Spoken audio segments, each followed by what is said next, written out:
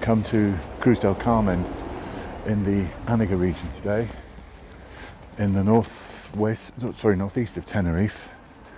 And as you can see, this is a pretty popular place to come for a walk. Uh, last time we were here, we walked down to Punta del Hidalgo. Uh, today we're going to take a, a similar route, but this time down to the next town of Bajamar which is just a little bit further south, further west, I suppose, along the along the coast. Um, lots of people here for walking today. Uh, some of them are on official sort of guided tours, as it were. Some of them, like us, are just doing solo walking. So we'll just uh, check our route on this map here. And that's the one, PRTF 12, Cruz del Carmen to Bajamar. You find it so often with these walks that no sooner have you left the dropping off point with people milling around all over the place, you start on the sendero and immediately you're pretty much on your own. Here we're walking through the lovely laurel forest will no doubt, when we drop a bit lower, get some more spectacular views of the region. We've come to the junction now of the footpaths. Uh, we've come from Cruz del Carmen, one kilometre, down to El Batan and Punta del Hidalgo. Um, I've done that one, but that's not the one we're going to do today. We're going to carry on to Bajamar on the TF12, uh, which is up this way. The Anaga region is one of the oldest regions geologically on Tenerife. Um, the rocks are around about five million years old, which sounds old, but of course not really in the great scheme of things because uh, in the UK, for example, there are rocks which are 1,000 million years old. So it's very much a, a new kid on the planet, Tenerife walking alongside the road for a short section here, which uh, I hadn't anticipated, I must say. But uh, it's interesting nonetheless. Just keep an eye on the paths. There's a path going down there, but there's no sign on it. So let's just continue a little bit this way and see where we get to. This is a bit strange really, we're going across the corners, as it were, of this road as it winds its way down. Um, so it's a bit steeper than the road certainly is. And uh, sometimes we have footpath markers, there seems to be one here, um, sometimes we don't. So it's a little bit odd. I'm just having a look to see whether we can continue along here. I may as well give it a go. I think it's going to drop down to the road anyway. But um, no, this one is uh, a little bit less well marked than many that I've been on. There's another post here which is reassuring. And here we have a full-blown set of signs. So that's what you want to see because that's going to confirm our journey.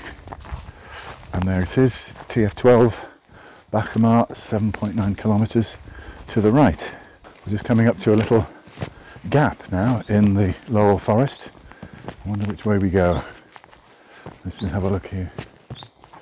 We've got our first expansive view, but I don't think the footpath goes this way, or does it? There's uh, another route off that way, um, and there is no sign whatsoever of any footpath markings. So I think we're going to stay on the main route for the moment and just see where that takes us. We've seen another postmarker confirming that this is indeed the TF12 that we're on, which is good. Um, so I don't know where that other little steep footpath went. And we're just coming up to another break in the woodland so that we can get some views across the Anaga region. Not a brilliant day for views, it's a bit hazy, but uh, nonetheless, just as we come up to this huge tree trunk here, we get a fantastic view down towards the sea and some of the bare rocks of the, the Anaga region. Now this looks as though it's the point at which we come out of the forested area and onto the cliffside paths, which is what I've been anticipating all the walk really, and sure enough we do. Because we're on pretty much three quarters of the way up on the, the right side of this valley. And then over there you can see right across to the other side and beyond. It's pretty misty so you can't see too much. Um, this is the only area really where you're not uh, not exactly dominated but you don't have the sight of Teide in the background wherever you turn. Uh, certainly if we could see Teide from this point it would be pretty much in the distance uh, looking comparatively small and uh, as it's hazy today we can't see it at all.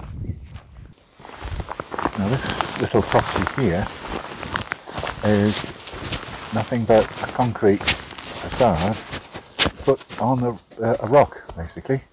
Uh, so the main body, if that's indeed a house, certainly looks as if it could be, basically it's excavated out of that solid rock there, which is uh, something you don't see many places, but you do see in Tenerife. So we have just come down this way and we've actually stopped here for lunch because the view is pretty good and we're going to head off down and eventually we'll drop right down to sea level and Bajamar which is over in that direction. This is a different section here. This is uh, completely different to the forest sections. Much steeper, much more open, a bit more care needed, but stunning views right across the valley there and down towards the sea. Somebody's cut some steps out very carefully, so we'll use those and then keep our eye on the ground until we get sure of our footing using the walking pole as well. But enjoying these views to the side really fantastic. What amazes me about this region is the efforts that people have gone to in the past to create a bit of arable land.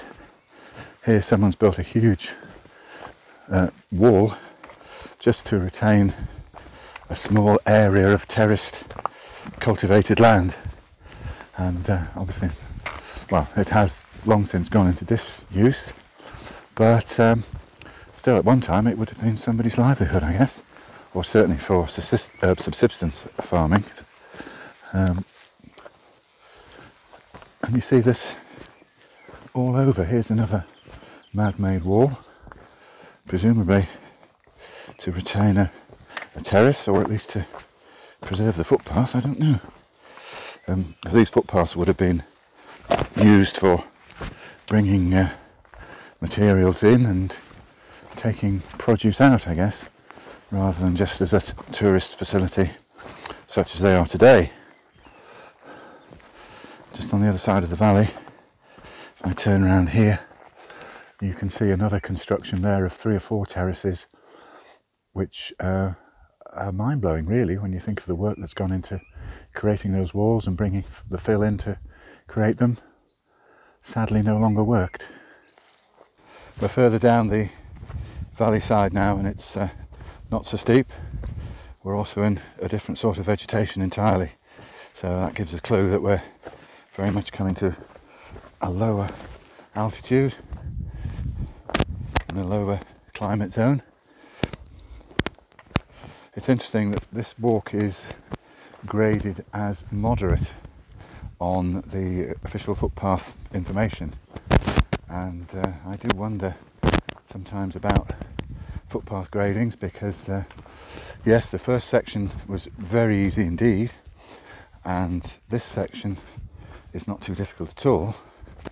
But that steep section that we've just undertaken uh, it wouldn't suit everybody by any means particularly if you're a little unsure of footing and you don't like having a narrow path with a vertical drop immediately to one side. We're much lower now and uh, more of the town of uh,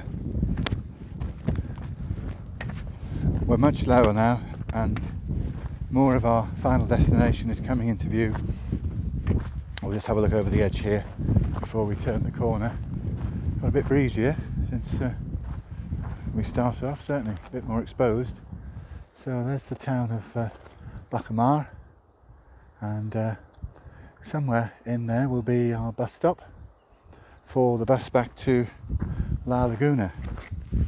We have to change buses to get back to our destination, Puerto de la Cruz, but that's not a problem because the buses from La Laguna to Puerto are pretty frequent, so we shouldn't have too much too too long to wait before we can uh, make our way to our final destination and have a, a nice shower and a drink and uh, whatever else.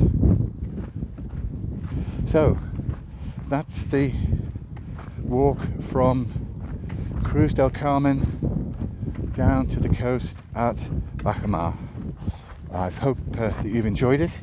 I certainly have. It's been the first time on most of this stretch and uh, I've learned a thing or two. Certainly it's not one that I can recommend to people who might not be experienced walkers but the first part is, is certainly very easy and very very nice to stroll along. So, hope you've enjoyed it, and I'll see you on the next one.